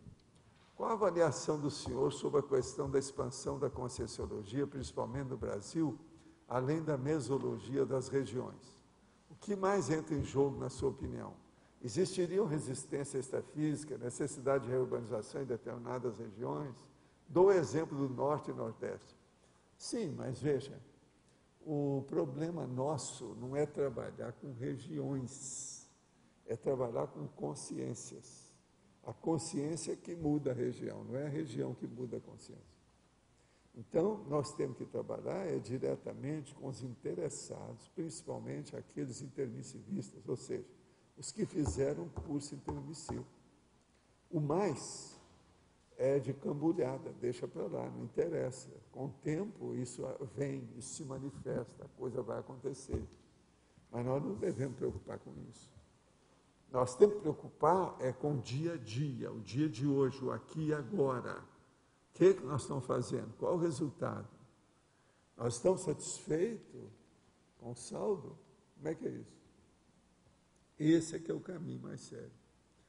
Agora, o processo de expansão da conscienciologia também, isso até um certo ponto é secundário. Vamos ver o que, é que nós estamos fazendo aqui. O mais, vamos ver o que, é que dá. O caminho é o seguinte, a única coisa que eu digo é o seguinte, isso aqui é que eu sou tranquilo dentro de mim. O que nós estamos falando, tudo isso, essas coisas todas vieram para ficar. Não adianta, não vai ter força para combater isso. O processo está tudo marcado. Se amanhã, por exemplo, vamos supor, não é isso que eu desejo, estou só fazendo aqui aquele processo da programação, ou de um projeto, ou de uma previsão, ou de um plano, é, vamos dizer, absurdamente trágico. Vamos supor que tudo isso aqui exploda. Vai explodir, vamos explodir. Acaba tudo que está aqui fisicamente. Não adianta nada. Nossa consciência continua do mesmo jeito. As necessidades nossas são as mesmas. Vocês vão ter que estudar tudo sobre vocês mesmos, que é a consciência do jeito do mesmo jeito. Então, não adianta. Ninguém vai poder fugir disso. Isso faz parte da evolução. Então, nós estamos trabalhando com os pilotis que sustentam a evolução. Isso é inteligência evolutiva. Não adianta querer substituir esse princípio por outro. A base é essa. Você pode mudar os nomes, pode mudar a semântica, pode se mexer, fazer o que você quiser, mas não tem jeito. Por isso que eu não quero é, persuadir ou convencer ninguém a respeito dessas coisas. Eu já vi essas coisas todas nessa dimensão e nas outras. Dentro de mim, isso é um ponto tranquilo, pacífico. Eu não posso transmitir isso para os outros, porque cada um tem que viver a sua vida. A gente tem que respeitar os direitos das outras pessoas de pensar sentir viver. Então, primeira coisa, o bem-estar, antes de mais nada, é individual, depois é que é grupal. Pensem nisso. A evolução, antes de tudo, é pessoal, depois é que é grupal. O serenão, às vezes, era marido ou era esposa de vocês em vidas anteriores. Vocês estão aqui como pré-serenonas e pré-serenões. E lá, aquela mesma pessoa que entrou no, no, na escola com vocês, já se formou ela já se formou. E vocês estão aqui, batendo carteira. Bom, no ar aqui. Na página 18, só pegando o gancho aí do processo da religião, na terceira linha de baixo para cima, fala um pouquinho sobre a evitação inteligente do comodismo regressivo. Você pois já é, falou? Esse comodismo da religião o, o problema todo é o seguinte: veja só. A gente, a evitação deve ser feita depois que você ajudou. Se você viu que não deu jeito, você não pode estar perdendo tempo com amizades ociosas. Então você deixa. O meu processo do movimento espírita era uma amizade ociosa. Porque as pessoas, eu não podia ajudá-las mais do que eu já tinha ajudado. Eu trabalhei lá dentro 28 anos eu tinha que parar com aquilo, para fazer o meu caminho um pouquinho na frente. Eu não queria ficar dentro de uma escola do pré-maternal. Eu queria caminhar para o curso secundário. Então, veja, isso tudo é o processo do comodismo regressivo. Agora, isso, esse comodismo regressivo não é só da religião. Eu falei da religião. Mas tem, por exemplo, dentro da filosofia tem dentro da ciência acadêmica que está por aí. Eu também deixei. Eu não sou Marx dissidente apenas de espiritismo, não. Eu sou da própria universidade, os processos filosóficos. Empresariais. Pois é, ah, o empresário, o processo todo, você está entendendo, da gestão. Então, veja, tudo isso eram é, atividades meios para eu chegar na minha atividade fins. Essa que é a diferença da história aí toda. Agora, veja, eu falo para vocês a minha realidade. Agora, outra coisa. Um dia desse, uma pessoa me perguntou aqui no CEEC, Walter, quando você era mais moço, você sabia que um dia você tinha que expor do jeito que você se expõe hoje? Eu falei assim, sabia. Então, tudo que eu fazia, eu falei assim, não, eu posso guardar isso, vai ser isso que a gente chama aí um bordão didático. Vai servir como né, uma peça pedagógica, para falar, um ca causo. Então, eu já, né, já, naquela ocasião, já pensava no COSER, entende? Você tem que ser, é o meu caso. Vocês já viram que eu tenho caso para a maioria das linhas de atividade que nós tocamos aqui, os assuntos, a coisa toda, tem caso. Agora, eu vi isso tudo, então procurava. Eu quero ver se eu chego o dia que abrir a minha boca para expor a minha realidade, eu não tenho nada para esconder. Quer dizer, eu não guardei nenhum quarto que só eu tenha achado. Tudo eu exponho.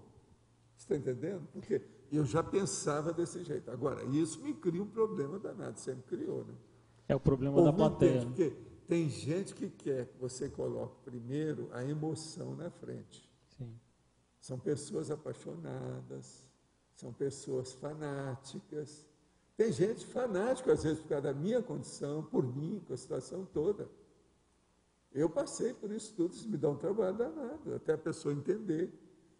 Então a pessoa quer que eu não coloque essas ideias, nem esse trabalho, e nem o povão acima dela. Ela tem que vir em primeiro lugar. Você está entendendo? Sim, entendi. Então, esse processo egóico, afetivo, emocional, ainda tem com muita gente que eu conheço, está comigo aí e tal, tudo isso. Há ciúmes entre eles. Você está entendendo? Entre os vários escalões. Então, veja, eu vejo isso tudo. Agora, é lógico que com o passar do tempo, essas coisas vão acumulando. Eu só advirto vocês mais uma vez. Estou alertando vocês mais uma vez. Quanto mais vocês ficarem de idade, mais isso vai acontecer. Vocês se preparam. É inevitável. Gente que não. Aqui. Eles entendem você, mas não querem entender. Eles podem entender do ponto de vista teórico, mas na vivência eles não querem saber disso. Então, isso tudo ainda tem demais, a gente tem que entender. Uma das coisas mais sérias que eu vi, de Djalma, desde que nós fizemos o Instituto, foram as pessoas mais maduras, mais veteranas, que estavam comigo há mais tempo, de entender que a ideia, quando ela vai para o povão, para a população e a parapopulação, entra na coletividade, que aquilo é superior à minha pessoa ou à pessoa dela. Isso aqui é a coisa séria. É. Agora veja, a mega fraternidade, a holofilosofia, a cosmoética, a inteligência evolutiva, tudo preza muito isso aí. Então, o processo da ideia básica é além da, da pessoa isolada. Então, o verdadeiro universal da ciência convencional, entende? É a ideia original, básica, redentora. Quer dizer, aquela que liberta, aquela que expande a luz, a consciência, que abre caminho. Isso é superior àquela pessoa isolada. Por isso que o serenão ele já fica anônimo, porque não é a pessoa mais isolada, não. Ele some, porque ele quer se derreter, se diluir, se fundir na coletividade. Você está entendendo como é que é? Que é isso que lá no Oriente eles não entenderam, que eles achavam que a pessoa vai evoluindo, evoluindo, evoluindo, chega num ponto que a consciência então desaparece na imensidão de todos, no todo. Bobagem, ao contrário ela desaparece lá pela serenologia, o anonimato da interassistencialidade, cada vez mais. Agora, então você veja, a conscienciologia hoje, ela explica esses macetes todos da ciência grossa, da filosofia fina, das religiões grossas e finas, elementares e profundas, da ideia toda. Tudo a partir de quê? do curso intermissivo, da multidimensionalidade, do parapsiquismo. De modo que o bem-estar está nas nossas mãos. Quem é que quer aumentar seu bem-estar? É só um processo de reflexão. Aumenta sua auto-reflexão. Você vai aumentar seu bem-estar. Mas fala. Então, é, para essas pessoas que não, não têm a mente abstrata ou mental somática, que não conseguem compreender o, esse, o plano da, das ideias como prático, né, vivencial, de expressão, né, aquilo é só mais teoria e para elas efetivamente não é um bem-estar ali. Porque elas não... Agora, uma das coisas que são os tropeços para a gente, você entender as pessoas e as pessoas entenderem você, é o problema dos séculos de monarquia, feudalismo e oligarquia. Isso aí é, ainda influi demais na cabeça das pessoas. É aquilo que eu mostro daquela moça lá no Rio, lá no Rio as coisas tudo bem, mas ela quis voltar para Uberlândia. Quem, lá em Uberlândia ela estaria na corte. Agora em Copacabana, com tudo aquilo, tudo fácil para ela, aquelas coisas todas, ela não aparecia em nada. Ela fica pequena. Né? Não era socialite de alta expressão. Agora em Uberlândia ela seria Lá eu reino. Aqui eu não existo. Por isso que nesse. Então veja, isso aí é a oligarquia, é o processo do feudalismo, é a monarquia, é o problema da corte. Agora, a hora que a gente fala, olha, o que interessa são as ideias. A minha pessoa não vale nada. Isso ofende esse povo todo. Não. Todo mundo cai fora a hora que eu falo. Mas, Você não quer ficar perto de mas, mim. Ó, Você está entendendo? Mas, além disso, para algumas pessoas dessas, isso é extinção mesmo, né? É. Porque a pessoa só tem a parte do ego, né? Então, ela, tá, ela, ela deixa de existir, deixaria mesmo, na concepção. Agora, então, o verdadeiro bem-estar é esse que você entende até essas pessoas. Elas ainda não dão para entender você, mas você já é obrigado a entendê-las. Porque tem, tem consciência, até usa a consciência. Do... Agora, eu queria perguntar outra coisinha rapidinho. É, a gente, quando, nessa coisa do bem-estar ainda, a gente, quando é, chegar a serenão, né, vai demorar, né? Se você souber responder isso. Não, você vai ser Não, a gente vai. Não, coitado. Então a gente vai. Quando a gente chegar a CL, né? É, eu não quero nada, eu não quero nada. Planejamento de longo, de longo prazo, né? De, longo, de longuíssimo prazo. Aí, o que eu queria te perguntar, se você souber responder. É, não, não, é comodismo isso, não. A gente não precisa voltar, não ao planeta, mas a esse nível de, de, de agregação de, de, energia, de matéria, esse correspondente ao intrafísico que nosso hoje, de hoje em dia? A CL, não. Agora, eu acho que o próprio serenão chega num certo ponto que ele fica mais para lá do que para cá. Vai chegar um ponto, então, que aí ele assume a condição da consciência livre. Mas agora, muita coisa disso a gente não entende, né? É um nível que a gente não entende. Eu estou procurando entender atualmente, com mais critério, o processo do desassediado permanente total. Que eu vejo que isso, eu falo muito aqui para vocês, isso não é fácil. Não é difícil. Né? Não é fácil. A primeira coisa, por exemplo, que eu vejo é o seguinte: ontem eu trabalhei é, durante, principalmente da tarde para a noite, com consciências totalmente perturbadas. Agora veja, eu nem perguntei, nem sei de onde elas vieram. Mas esse ano, por exemplo, foram as piores que eu já enfrentei. Foi ontem. Agora, é dessas que eu tinha que parar com tudo, exteriorizar a energia, até tudo ficar branco, de ectoplasmia em torno de mim. Mas depois também vem aquele banho, né? É o banho de salvação final. Dá um enxágua você que você limpa tudo, aí a sua cabeça amplia, dá um monte de coisa. Mas agora eu vi cada coisa ontem, em pouco tempo. Isso foi dentro de um espaço assim, mais ou menos umas duas horas. Entende? Então você veja, eu achei muito bom.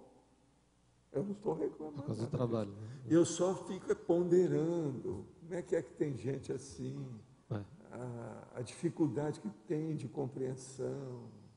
Entende? Então. Aí você começa a entender por que, que esses meninos, por exemplo, aí a Consel, já nasce tudo contra o mundo, contra tudo, contra todos. É esse povo, né? já é assim, a mentalidade está ali. Então você veja, você já pensou que a gente andando um pouco aqui, entrando no parque aí, tem onça pintada? É. Então, a gente tem que entender isso. Nós vivemos nesse ambiente. Como é que sabe? Tá Cobra é coisa boa. Mas agora pensa bem, uma onça pintada. Uhum. Aí tem várias do parque. Como é que fica? Se tem onça pintada assim, agora pensa extrafisicamente, as onças e os onços que não tem. As hienas extrafísicas, humanas que existem. Ontem eu vi algumas dessas. Agora, dá uma pena. Dá uma pena. Tem algumas que a gente vê que me dá vontade de fazer carinho, do jeito que eu faço, por exemplo, lá com a Crista, sabe? A gatinha. Mas aquilo é Mas não impossível. Dá. Não dá. Totalmente impossível. Há um gap entre a gente, há um fosso, um abismo na situação difícil. Para você fazer uma interação é uma dificuldade. É aquele negócio, você tem que apagar às vezes para poder Então veja, agir, né? numa hora dessa, uma pessoa que passa por um processo desse, ela vai olhar para a holoteca, vai dar um desânimo danado, se ela não tiver cuidado. O que, que adianta todo esse conhecimento, toda reunião, esse acervo de cognição perante uma consciência dessa? Ontem, por exemplo, vieram duas fazendo uma duo, você está entendendo? Uma dupla. Agora, eu não sei de onde é, nem o que, que é, não. Umas, as primeiras que apareceram, eu consegui localizar. O mais, eu não perguntei o que, que era. Mas você procura ver mesmo? Com, ver... Não, não, eu não procuro ver, não procuro não, ver não nada, ver, não. Né? Eu procuro exteriorizar para ajudar não, tudo que eu posso dúvida, que A minha energia, a minha energia sempre ajuda. Não, se... Porque ela, eu estou condicionado, você está entendendo? Sim. Eu não estou sozinho. Mas estou dizendo, então, sempre ajuda. ver a situação claramente, não a situação como um todo, mas visualmente Agora, pode exemplo, até interferir. Eu né? funciono melhor nisso, às vezes, do que o próprio enumerador, por causa do meu corpo humano. Eu estou mais próximo deles do que o enumerador. Agora, então, eu sei que tem coisa muito mais próxima da gente, mas então ainda nesse nível mais próximo que a gente está tentando, no geral, chegar, né? a gente, o que a gente ganhar de percentual de domínio da, ou de extrafisicalidade, né, a gente não, não perde, né, o que for dominado mesmo, né, na proporção de intra, extra. Né. Gente... Você não perde nada desde que você faça assistência. Eu, por exemplo, não me dá branco em nada, não há gap dentro do trabalho que eu faço. Eu, por exemplo, dormi quatro horas, levantei, trabalhei, trabalhei mais umas cinco horas. É, foi um rendimento enorme essa noite. Agora de madrugada, como de, de manhã, como eu não disse, trabalhei mais algumas horas, foi um monte de coisa. Já deu servição para o Everton.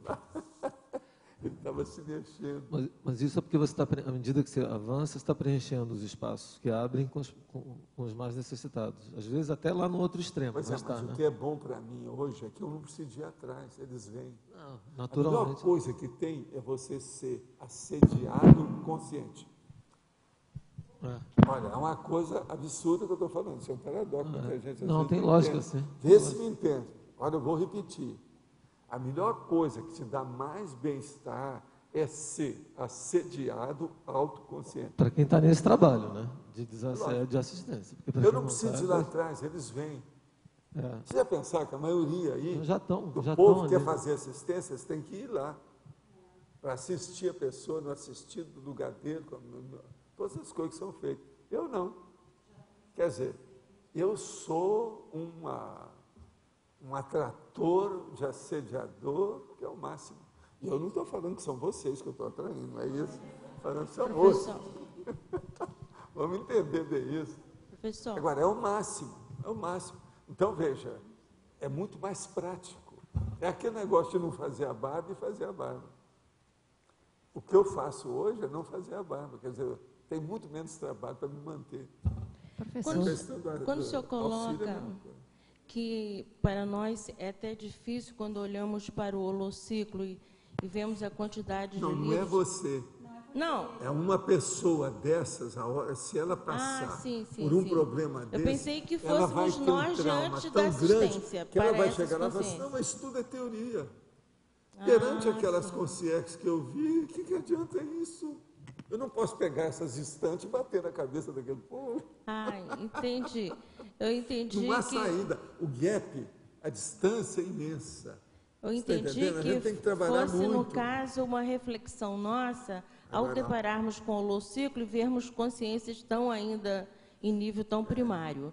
Então, é, o que eu é, queria perguntar ao senhor, na verdade, essas consciências, mesmo as em forma assim animalesca, elas podem ter sido gênios, Agora, escuta, essas não têm forma animalesca coisa nenhuma. não? Não. Elas têm aparência, faz o que bem entende com isso, domina o processo da energia. Agora, o que, que se passa? Eu mesmo falei com eles, não levem essas consciências para, essas consciências para mim, o FIEC. Não. Eu mesmo dei o conta, porque de vez em quando eu me permite dar o conta daquilo que eu acho. Eu Por não que, quero, Valdo, porque Você, faria? você pode falar? senão, não, senão vai me criar problema lá para colocar outras. Ah, tá. Então você... Essas aí são tomate podre no meio do- da coisa, pode, a- a- entende? Apodrecer, Apodrecer tudo que aparecer lá. Então Agora, elas são, esses são forma? Tipo forma? mega assediadores. E eles em dupla. Você está entendendo? É dos bravos. Agora, eu nem fiquei sabendo direito, porque eu queria ver se eu já conhecia alguém, se era do povo que eu já trabalhei antes, mas não vi nada, é gente nova. Agora, não sei também por que que vieram para mim, entende? Tudo tem sua razão. É, professor, mas a vocês forma, eu sei como que é são que é. consciências, mas a forma com forma humana?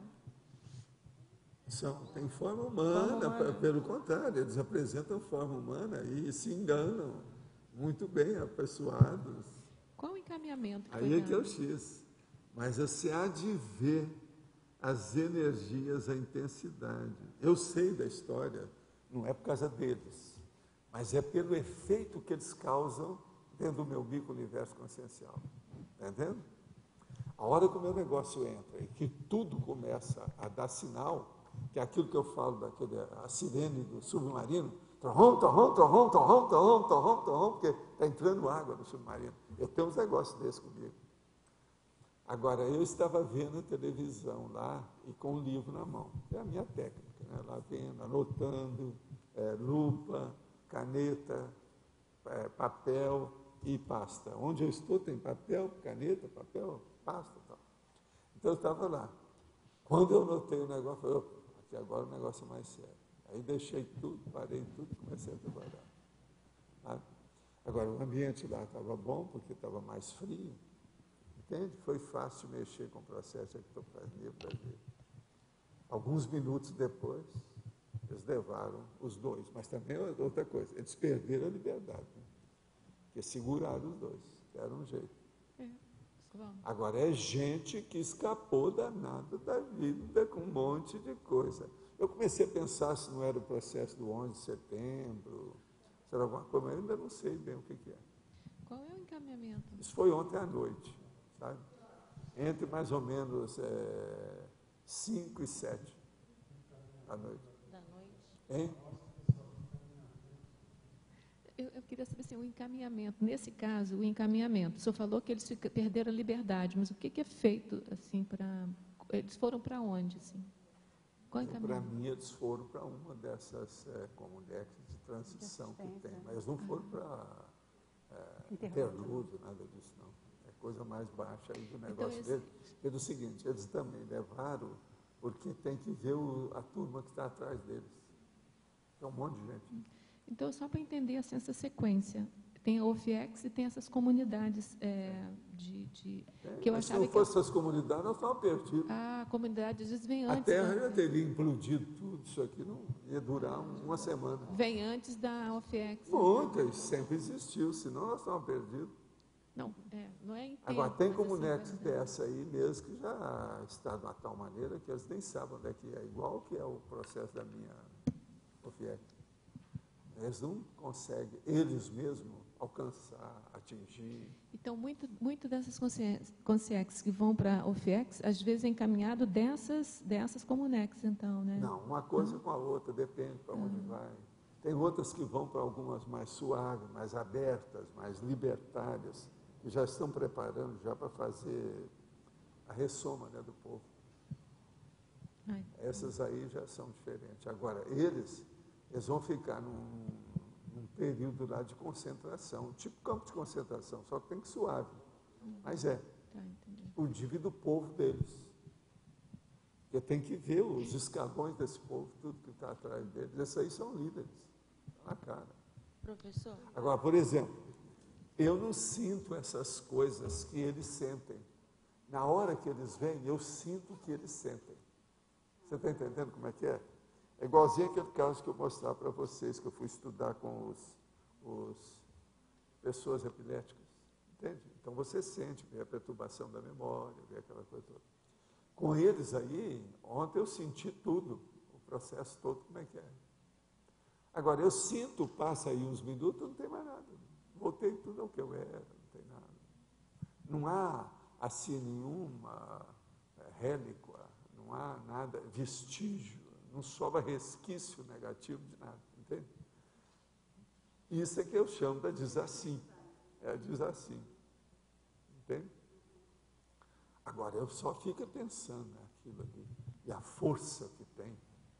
Ontem, por exemplo, a força que eu tinha, eu notava direitinho a central extrafísica funcionando através de mim. É total. A alto nível. Agora veja, a minha vida melhorou muito.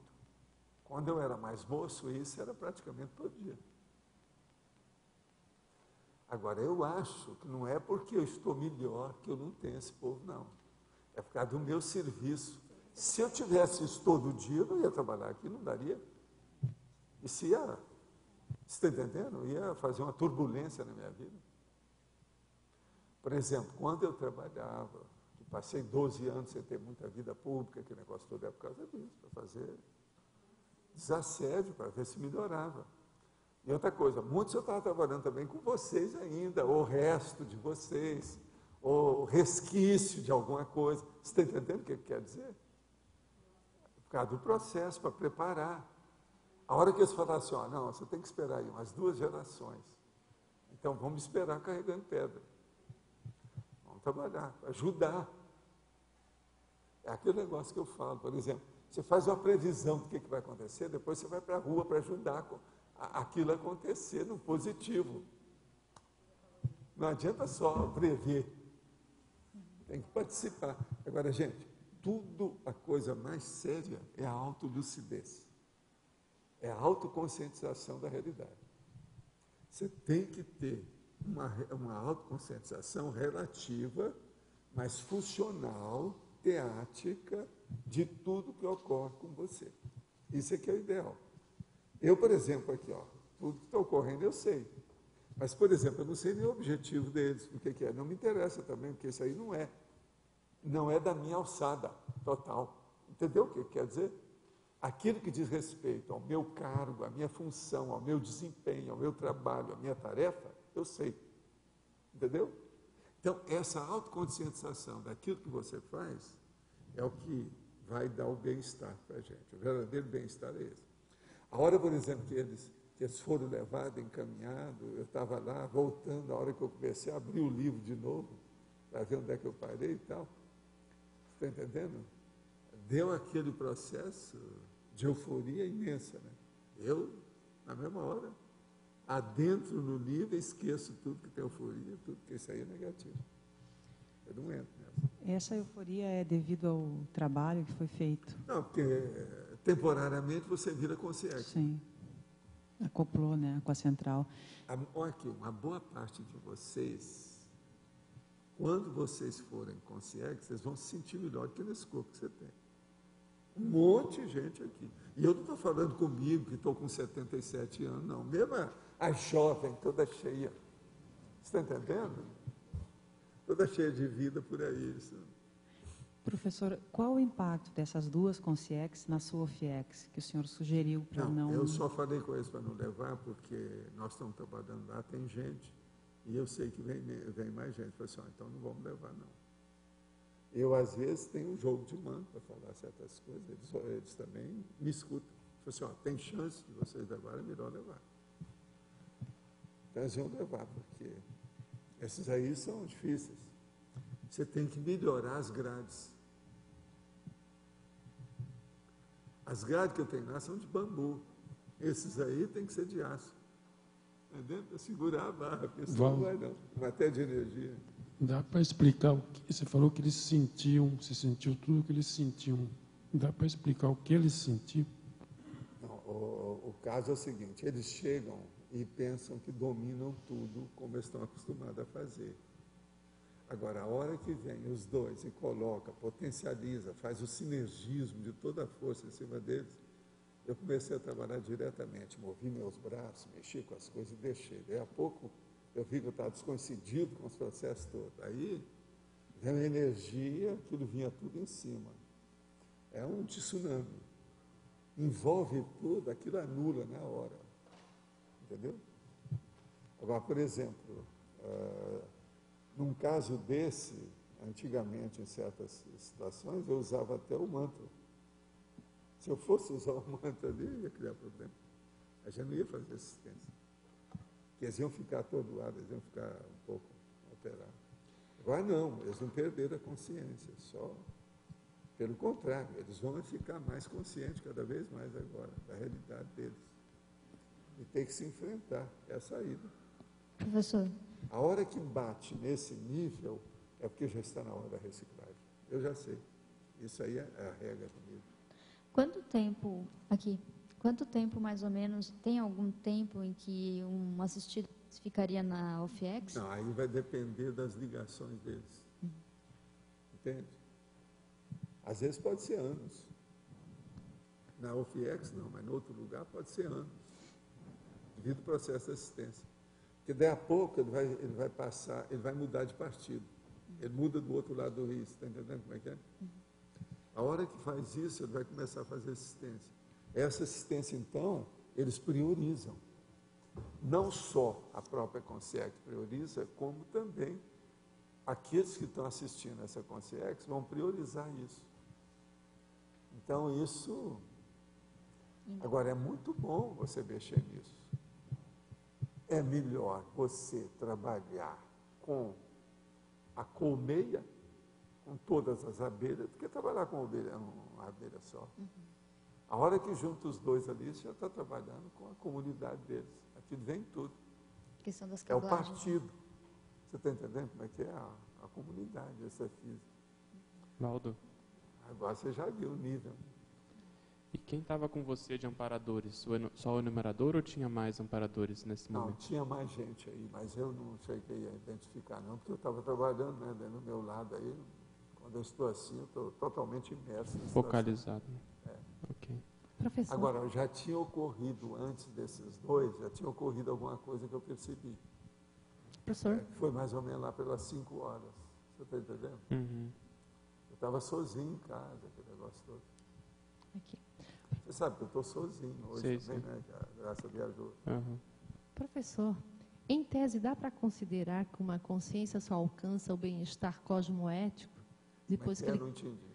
Em tese, pode-se considerar que uma consciência só alcança o bem-estar cosmoético quando ela quitou seus débitos? Não. Não. Ela Poderia começa falar. a ter pequenos bem-estares. Pequenininho, aquilo vai expandindo. Agora, o verdadeiro bem-estar, geralmente, no início, ele é mal compreendido. As pessoas não sabem o que que é. Elas querem uma coisa que não deve ser, que aquilo não é o ideal para elas. O bem-estar que ela está querendo, o correto, é esse aqui. Ela quer aquilo. Isso é um erro. Isso é ignorância. Tem muito disso. Qual, é, qual o equilíbrio entre o, o bem-estar né, cosmoético é, e você está trabalhando, está fazendo as coisas que tem que fazer, alinhado com a sua proexis, e aquele bem-estar da pessoa que não está fazendo nada? Ou nada que eu Não existe assim. isso. Não existe bem-estar da pessoa bem-estar. que não está fazendo nada. Isso é bobagem. Sim, mas eu, eu verdadeiro queria saber a diferença. ele é operoso, ele é laborioso, ele é frutífero, ele é prolífico. Não pode ter bem-estar sem nada. Se eu, se eu, por exemplo, começar a pensar, não, não tem nada para fazer, isso é a pior coisa que tem. Isso não é bem-estar, isso é mal-estar. Eu entendi. É porque às vezes eu colocava assim, ó, quando você está muito bem, É isso, por isso que calma eu estou lá. falando. Mas para a pessoa, Quando a pessoa está entender. muito bem, ela está péssima. A maioria que é assim, por quê? Ela está querendo justamente isso, ela está querendo o vazio, a oquidão, a vacuidade, o nada, o zero. Isso aí não resolve. Entende? Agora, o que eu quero dizer para vocês, por exemplo, olha o meu bem-estar, vamos examinar bem o meu bem-estar. Vem essas consciências, vem dar, etc. A gente influi muito. Elas querem influir demais na vida da gente. Eu acabo influindo mais na vida delas do que elas na minha. Agora veja, isso me dá um bem-estar imediato. Entende? Aquilo me dá uma verdadeira euforia na história. Pois é, eu vi que vai haver uma melhora. Agora, a partir deles, quantos não vão melhorar? Entendeu? Agora, sou consciente de tudo isso. Por isso que eu falo, a autoconsciência é a alma do bem-estar. As pessoas que querem ter bem-estar apenas por uma comodidade física, isso é burrice, isso é infantilidade, isso é bobagem. É porque tem certos momentos evolutivos que a gente atravessa fases de turbulência, né? Eu digo, vou, vou me colocar como cobaia. Estou lá eu e tem um momento que dá muito mais desconforto. Você tem que estar lidando bem com esse desconforto. E eu vejo assim que a tendência do bicho é buscar aquele bem-estar que na verdade é o bem-estar ocioso, efêmero, não é? Que é negativo. Mas eu, a gente, eu, eu tenho que lutar contra esse bicho de querer buscar aquele bem-estar. E às vezes ele pode acontecer, e eu não sei se, se ele está positivo ali ou se tá, eu estou fugindo, entendeu? Porque tem, eu estou num momento assim agora, tipo, eu estou bastante desconfortável com as coisas, estou mexendo em certas situações que eu não mexia há muito tempo. Então eu estou numa fase assim de uns meses já com muito desconforto. Então é, eu, eu tenho essa dúvida, é, porque às vezes eu quero um bem-estar para dar um alívio. olha, esse desconforto é evolutivo. Ele Sim, é é um desconforto evolutivo. Que venha esse desconforto, ele é ótimo. É a crise de crescimento. Não, eu sei, mas é o que eu digo assim, o fôlego vai até um certo ponto. Aí você tem que dar uma, uma acalmada, entendeu? E esse, eu, eu não entendo essa, essa, o que, que é o positivo aí dessa, desse momento que você dá um break, assim, dá uma pausa. Mas aí faça a autoconscientização, faça uma reflexão sobre o assunto que você vai decidir. Mas Quando então, é- você falou que às vezes o, o- esse bem-estar é mal compreendido, se quer um bem-estar quando na realidade deveria ser outro. Como é que se sabe que esse bem-estar que se quer Porque é as equivocado? pessoas não sabem qualificar o que que é bem-estar. Que ela ainda não passou por bem-estar profissional. Ela é só amadora em matéria de bem-estar. Mas como é que a gente pode maioria- saber? A maioria das pessoas na Terra, elas são ótimas de baratosfera, mas são péssimas de comuneco superior. Elas não entendem nada disso. Então, elas têm um bem-estar que é sair daquelas tragédias de lá. Então, é isso aí que o ela está falando. Uma situação de descanso, de férias, de boa vida, dolce far niente, rede, sombra e água fresca. Tudo é bobagem. O, problema é esse. O problema de bem-estar é uma coisa íntima do micro-universo consciencial. É a autoconsciência dessa realidade evolutiva. E sempre envolve o outro. Uma pessoa que pensar em bem-estar só para o egão dela, ela nunca vai alcançar bem-estar nenhum. Sempre tem que colocar o outro. Então, a maioria ainda não faz isso. Você veja, as pessoas maduras, veteranas, a maior dificuldade que elas têm para entender o meu processo da conscienciologia é a hora que eu falo. As ideias estão acima da sua pessoa, acima da minha, acima da sua, acima da dela, acima da dele. O povo tem dificuldade para isso. Até entender isso, O parâmetro principal seria isso, o, bem, o seu bem-estar tem que envolver o bem-estar de outra pessoa. Isso, Isso. aí é o meu foco. E essa autoconscientização, ela tem que ser natural, é sua. A gente não precisa falar isso para você. Você já vive assim. Dá aqui uma última pergunta. Estou com 35 anos e não me sinto bem em meu trabalho. Tenho uma empresa na área de marketing com ênfase em eventos e não sinto que esse seja meu caminho. porém estou com muita dificuldade de encontrar meu caminho. Assisto às terturas todos os dias e me identifico muito com todo esse processo. Há como juntar a vida profissional, pé de meia e a conscienciologia? Sim. Eu não fiz isso na minha vida inteira. Agora, eu consegui alcançar uma coisa mais ou menos tranquila quando eu estava chegando aos 36 anos. De modo que vamos pensar nisso e raciocinar o modo de fazer a coisa, ver o essencial, o prioritário, que a gente alcança isso. Há dúvida. O processo é o seguinte: insista, não desista. Agora, ó, veja o prioritário, o ideal. Se uma coisa não presta, não presta mesmo. Não presta mesmo. Não adianta fazer maquiagem. Eu sempre falo isso. Nossos comerciais, por favor. Obrigado. As pontuações da tertúlia de hoje. 53 assinaturas no livro de presença, 16 perguntas presenciais, 5 perguntas respondidas online, 13 votos online. Teremos o recado da Lorela, palestra da Simvex, e do Fábio pela OEC. 13 verbetes para a eleição de hoje. Beatice, behaviorismo, beleza, beneficência, contrapontologia, hipocrisia política, mirmíndone, miudeza, mundividência, neo-história, objeto ritual, reprodução intrafísica. E testemunho. Boa tarde a todos. Para quem não sabe, a Simvex está realizando nos segundos e quartos domingos do mês palestras gratuitas online. Então, o site é asimvex.org.br. E nesse domingo agora vai haver um tema muito interessante às três horas da tarde, é, implicações do parapsiquismo na juventude. Então é um tema bastante é, prático para todos nós e, e compareçam online para assistir essa palestra. Boa tarde a todos. Em nome da OIC, eh, gostaria de convidá-los a participar do Dia de Ação em Saúde Consciencial, que ocorrerá no dia 12 de outubro, segunda-feira, das 8 horas até as 17h30, no campus da OIC.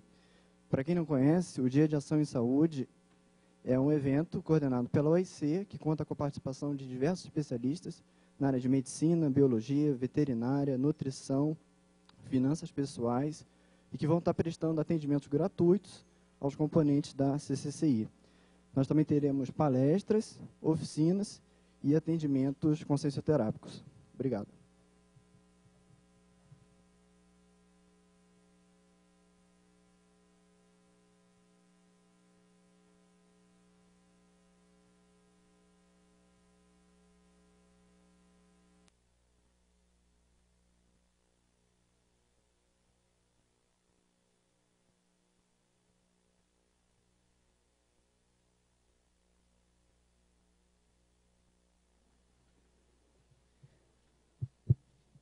Para amanhã teremos verbete beneficência, ganhou com sete votos. Obrigado, uma boa tarde a todos.